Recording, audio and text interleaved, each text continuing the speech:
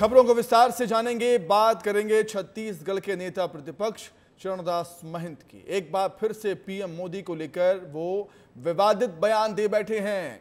चरणदास महंत ने पीएम मोदी को डिफॉल्टर बता दिया। तो चरणदास महंत के एक बार फिर से बिगड़े बोल। छत्तीसगढ़ के नेता प्रतिपक्ष चरणदास महंत ने प्रधानमंत्री मोदी को लेकर एक बार फिर से विवादित बयान दे दिया है। पीएम मोदी को उन्होंने डिफॉल्टर कह दिया। एक बार फिर से हम इसलिए कह रहे हैं क्योंकि कुछ ही दिन पहले महंत ने प्रधानमंत्री के सिर फोड़ने की बात कही थी। प्रधानमंत्री मोदी के सामने हाथ में लठ लेकर खड़ा होना वाला, खड़े होने वाला आदमी चाहिए, ऐसी बात उन्होंने कही थी। इसलिए हम कह रहे हैं कि चरणदास महंत ने एक बार फिर से पीएम मोदी को लेकर विवादित बयान दे दिया है। उनको डिफॉल्टर कह दिया है। छत्तीसगढ़ के नेता प्रतिपक्ष चरणदास महंत ने। मोदी की गारंटी तो 10 साल से फेल हो रही भैया। न दो करोड़ नौकरी मिली, न पंद्रह लाख रुपया मिला, न जितने उनने गारंटी दी है। हम तो बार बार अपने विधानसभा में भी बोले हैं, लोगों के सामने बोले हैं।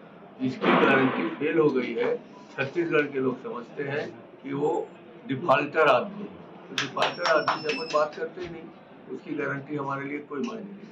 हमको तो छह जगह बहुत अच्छी दिख रही है आज की तारीख में। ज़्यादा झूठ बोलना नहीं चाहते हम लोग भाजपा की तरह ग्यारह ग्यारह सीट कहेंगे नहीं, मगर पाँच छः सीटें हम लोग जीत रहे हैं, ये हमको लग रहा है। आने वाले दिनों में हो सकता है दस हो जाए, नौ हो जाए, ये आने वाले समय और इसी पर एक चर्चा करने के लिए सीधे हम रायपुर का ही रुख कर देंगे। हमारे सहयोगी रोहित मिश्रा हमारे साथ लाइव जुड़ गए हैं। रोहित, एक के बाद एक सेल्फ गोल कांग्रेस की तरफ़ से। ऐसा लग रहा है कि सियासी मैच को जीतने में बीजेपी को ज़्यादा मेहनत नहीं करनी पड़ेगी। बिल्कुल देखिए, ये साफ़ नज़र आ रहा है कि सेल्फ गोल लगातार कांग्रेस कर रही है, क्योंकि इससे पूर्व में भी चरणदास महंत ने ही जो नेता प्रतिपक्ष उनका बयान था। उस बयान के बाद में छत्तीसगढ़ में बवाल मच गया था। सियासी गलियारों पे इस बयान की चर्चा हो रही थी और राष्ट्रीय स्तर पर भी इस बयान की चर्चा हुई थी, जहाँ पर उन्होंने सिर फोड़ने की बात कही थी।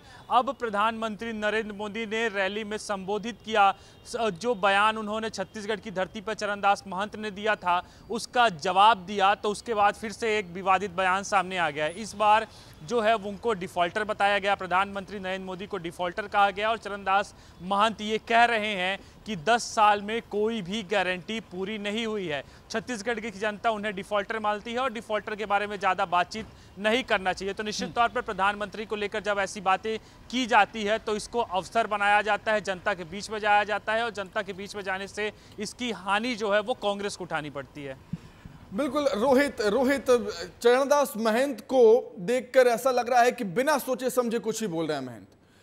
सिर फोड़ने की बात कह देते हैं, डिफॉल्टर कह देते हैं चरणदास महंत। क्या चरणदास महंत को डिफॉल्टर की मीनिंग पता है? डिफॉल्टर वो इंसान होता है, किसी का पैसा खाकर भाग गया हो, देश छोड़ दिया उसने। क्या प्रधानमंत्री मोदी डिफॉल्टर लगते हैं चरणदास महंत को? बिल्कुल, देखिए, लगातार चरणदास महंत विवादित बयान क्यों दे रहे हैं? इसकी वजह उन्हीं से पूछेंगे। पिछली बार तो बयान जारी कर वो बच गए और उन्होंने कहा कि मैंने तो छत्तीसगढ़िया में कहा था छत्तीसगढ़िया में इसका मतलब ये नहीं होता है। लेकिन एक बार अब फिर से क्योंकि पत्रकारों के सामने ये जवाब दिया गया है ये बात कही गई है जहाँ पर उन्होंने साफ़ तौर पर डिफॉल्टर कहा है तो सौम्य छवि का नेता अगर इस तरह की बात कर रहा है और हम्म। एक बार नहीं लगातार कर रहा है तो इससे कई सवाल भी खड़े हो रहे हैं। और वहीं भारतीय जनता पार्टी ने यह भी सवाल खड़ा किया है कि चरणदास महंत के ऊपर दबाव बनाया जा रहा है केंद्रीय नेतृत्व लगातार दबाव बना रहा है और दबाव से बौखला गए हैं चरणदास महंत और इस तरह का लगातार बयान दे रहे हैं तो कहीं ना कहीं डिफॉल्टर की बात जब होगी क्योंकि उन्होंने रोज़गार का मुद्दा लेकर ही जो है वो चरणदास महंत को कल रैली में जवाब दिया था प्रधानमंत्री नरेंद्र मोदी ने कहा था कि हम युवाओं के साथ जो हम्म। छल किया गया युवाओं के जो रोज़गार है वो छीना गया हम्म। उसकी जाँच करा रहे हैं इसीलिए मेरे लाठी लाठी से सर फोड़ने की बात कही रही है हम्म। और वहीं पर चरणदास महंत ने भी जो बयान दिया है उसमें भी उन्होंने ये कहा कि हम जो छत्तीसगढ़ की जनता है रोहित में लौटता हूँ। रोहित मैं आपके पास लौटता हूँ।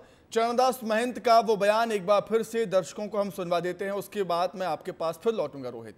सुनिए। मोदी की गारंटी तो 10 साल से फेल हो रही भैया। न दो करोड़ नौकरी मिली न पंद्रह लाख रुपया मिला न जितने उनने गारंटी दी है। हम तो बार बार अपने विधानसभा में भी बोले हैं लोगों के सामने बोले हैं इसकी गारंटी फेल हो गई है। छत्तीसगढ़ के लोग समझते हैं। कि वो डिफाल्टर आदमी है। तो डिफाल्टर आदमी से अपन बात करते ही नहीं। उसकी गारंटी हमारे लिए कोई मायने नहीं हमको तो छह जगह बहुत अच्छी दिख रही है आज की तारीख में। ज़्यादा झूठ बोलना नहीं चाहते। हम लोग भाजपा की तरह ग्यारह ग्यारह सीट कहेंगे नहीं। मगर पाँच छः सीटें हम लोग जीत रहे हैं, ये हमको लग रहा है। आने वाले दिनों में हो सकता है दस हो जाए, नौ हो जाए, ये आने वाले समय देखिए रोहित रोहित लगातार जुड़े हुए हैं। रोहित पिछली बार जब सिर फोड़ने की बात कही थी, पीएम मोदी का चरणदास महंत ने छत्तीसगढ़िया संस्कृति की आड़ में बचने की कोशिश की।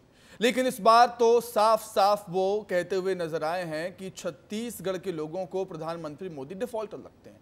अब कैसे डिफेंड करेंगे आप इसे? महंत जी से अगर सवाल किया जाए तो इसे अब किसकी आड़ में डिफेंड करेंगे इस बयान को? रोहित, फंस चुके हैं फिर से। बिल्कुल देखिए फिर से फंस चुके हैं और पिछली बार तो संस्कृति का हवाला दे दिया गया था लेकिन अब छत्तीसगढ़ को जोड़ते हुए ही कह दिया गया कि छत्तीसगढ़ के जनता जो है उन्हें डिफॉल्टर सस्ती है। तो चरणदास महंत की मुश्किलें बढ़ रही हैं और वर्त, जो वर्तमान पे वो नेता प्रतिपक्ष और पार्टी के बड़े नेताओं में से एक है। जब पार्टी के बड़े नेता इस तरह का बयान देते हैं तो निचले स्तर के कार्यकर्ताओं पर किस तरह का जो है उनका जो है उनके उन तक बात जो है वो जाने वाली है? जब लोकसभा का चुनाव है और लोकसभा के चुनाव पर आप जोरदार लगातार धुआंधार प्रचार प्रसार कर रहे हैं और आपकी पत्नी ही एक लोकसभा सीट से संसदीय का चुनाव लड़ रही है तो कहीं ना कहीं इससे मुश्किलें बढ़ेंगी। पार्टी की तो मुश्किलें बढ़ेंगी क्योंकि पार्टी के बड़े नेता हैं आप और सर्वाधिक नेताओं में से एक आते हैं लेकिन इसके अलावा कोरबा लोकसभा सीटों पर भी समीकरण रोहित मुझे लगता है रोहित एक और सवाल संक्षिप्त में मुझे लगता है कि जब पिछली बार पीएम मोदी को लेकर चरणदास महंत ने बयान दिया था तो पार्टी ने शायद उसे गंभीरता से नहीं लिया। और इसलिए दोबारा पीएम मोदी को लेकर बयान दे दिया, कोई नोटिस भेजना चाहिए था कि भाई, भाषा की मर्यादा तो रखिए साहब, दोबारा ऐसा मत करिएगा। ऐसा नहीं हुआ पार्टी की तरफ़ से, इसलिए फिर डिफॉल्टर बोल गए वो पीएम मोदी को, रोहित। बिल्कुल देखिए सुमित यही समस्या है कांग्रेस में कि जो कांग्रेस में है वो एक्शन नहीं लिया जाता। अगर गंभीर स्थिति बन जाएगी छोटे स्तर का कार्यकर्ता है तो उस पर एक्शन देखने को मिलता है लेकिन बड़े स्तर के अगर को, कोई नेता हैं तो उन पर जल्दी एक्शन देखने को नहीं मिलता और इसी समस्या के कारण देश में और छत्तीसगढ़ में कांग्रेस की स्थिति लगातार बदल रही है और जो कांग्रेस सत्ता पर बनी हुई थी आप सोचिए कि जो सत्ता पे चौवन सीटों के साथ में जो सत्ता पे है जिसके पास इकहत्तर का बहुमत था वो अगर सरकार वो खो देती है तो उसकी वजह जो है वो यही है कि अगर पार्टी लीग से लगातार अगर बात हटकर की जा रही है लेकिन पार्टी ही उस पर एक्शन नहीं ले रही है तो निश्चित तौर पर अगर पिछली बार एक्शन लिया होता तो हम्म। चरणदास महंत के ऊपर अगर किसी तरीके का नोटिस जारी किया होता तो शायद हो सकता है चरणदास महंत इसे गंभीरता से लेते और गंभीरता से लेने के बाद दोबारा इस तरह की बयानबाजी नहीं करते तो लेकिन हम्म। कांग्रेस की समस्या यही है और जिसके कारण जो लगातार है बड़े नेता बयान दे रहे हैं कार्यकर्ताओं में भी रोष है कांग्रेस के नेता जो है वो पार्टी छोड़ रहे हैं भाजपा में शामिल हो रहे हैं तो कई तरह के समी समीकरण है और जिस पे ये साफ़ नज़र आ रहा है कि एक्शन की कमी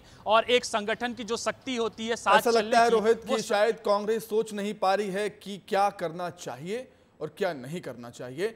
रोहित बहुत शुक्रिया।